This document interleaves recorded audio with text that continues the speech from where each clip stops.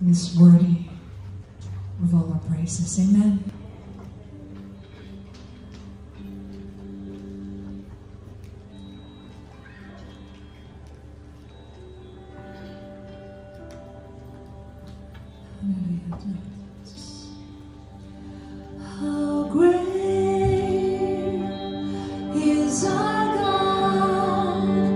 See